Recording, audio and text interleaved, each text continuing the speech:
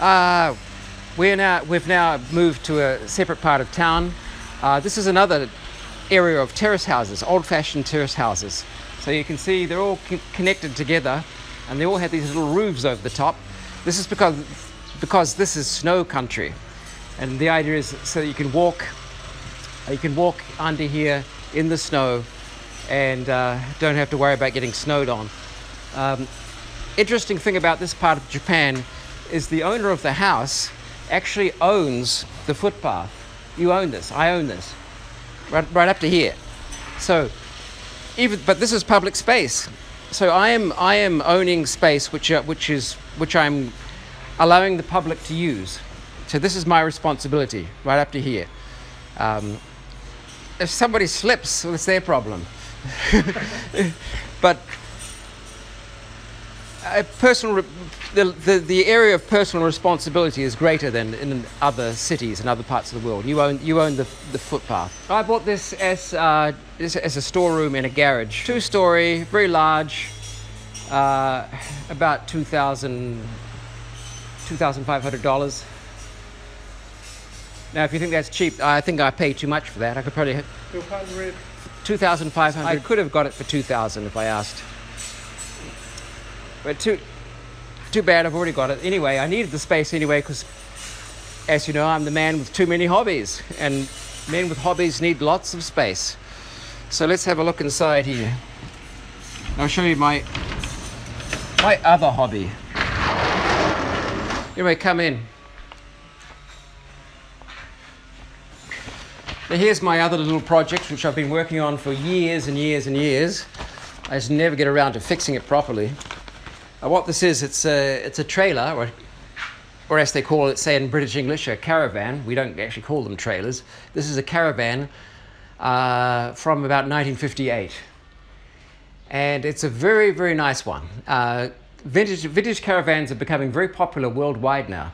There's a boom of vintage caravans. They're expensive, hard to find. Um, there's even a whole site dedicated to them now on the internet called, uh, I think it's vintagetrailers.com or something, um, about a man who, who knows everything about these and how to fix them. Um, but this one, because it's an English, no, this one is from New Zealand, a New Zealand built caravan. So this particular model, I have never seen or heard of another one like this. So it's possibly the only one in the world. So it is a very rare and unusual model. Um,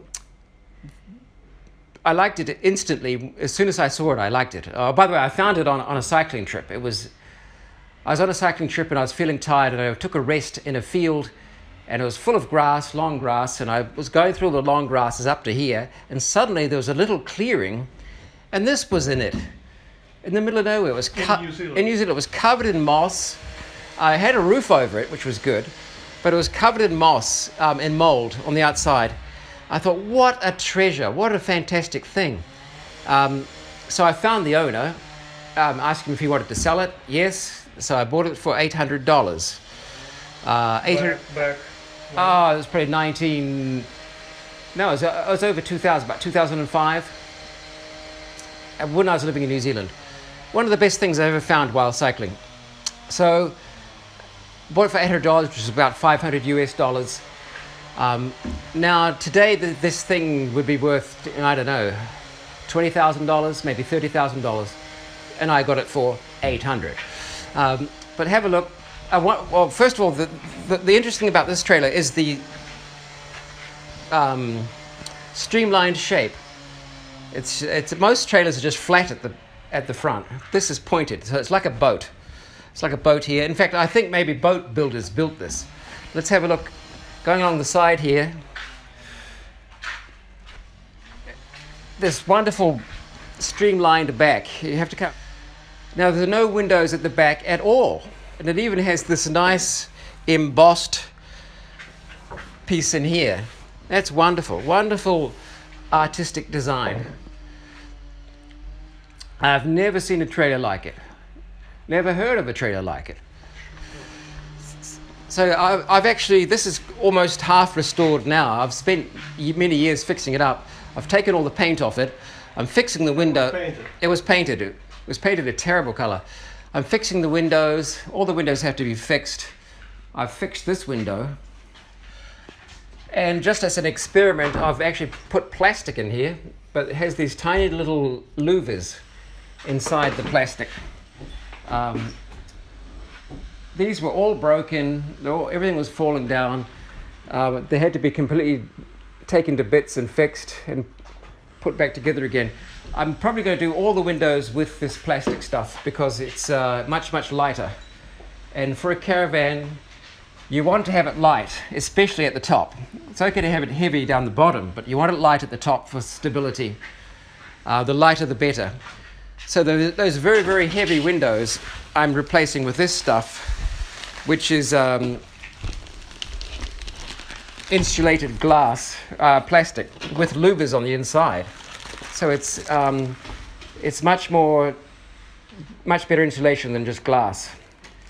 You can see that it's hollow in there. And it has these little louver things. Mm-hmm. Louver things. Um, it also means you can eliminate curtains. If, these things always came with curtains in the 1950s. I don't like curtains in a house, especially something this small. It makes the room look smaller, they get dirty, and they can always catch on fire. So I will eliminate the curtains. Well, let's have a look inside.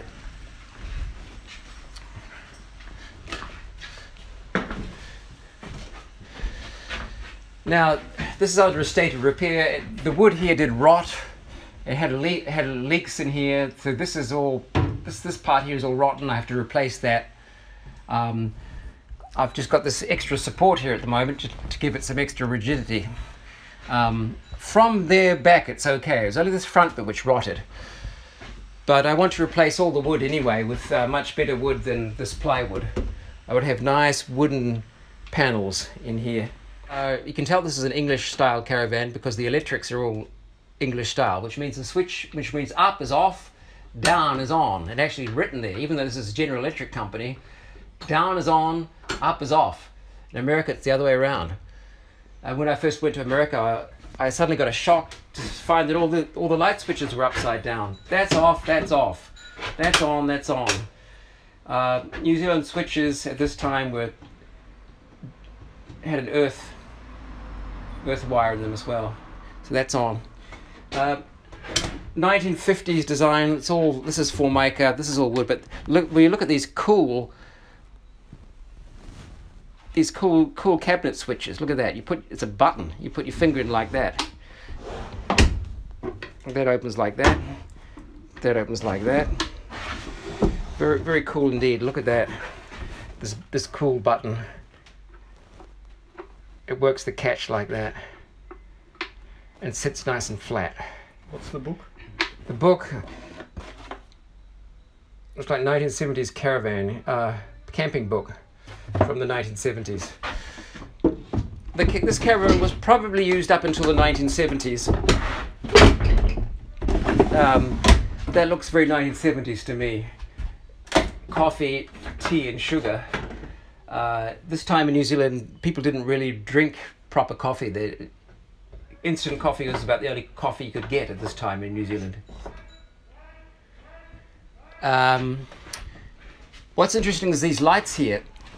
Now, when I was a boy in New Zealand in the, in the 1960s um, and 1970s, all public buses and trains had this kind of light. They had the exact same interior light. So at, this is a like a 12 volt light. So at this time in New Zealand, there was only one kind of light you could get. And buses used them, trains used them, and this caravan used them. So it was the same you know, one type of light. This time in, in New Zealand, everything was uh, very hard to get. Must be must have been like Russia. Soviet Union. Yeah, Soviet Union. You, you couldn't buy anything, and well, you had to make it, or you had to know somebody who had it, um, and buy it off off off somebody you knew, or buy it second hand, um, or build it yourself. But this is actually quite good because it made New Zealanders very um, enterprising. enterprising and um, and uh, there's a high level of ingenuity in those days. Most men could fix anything. Um, and they'd build everything. Oh, there's one little the brand of this caravan I have discovered. Read this again. J. Burnett and Sons Limited, 346 Gladstone Road, Gisborne.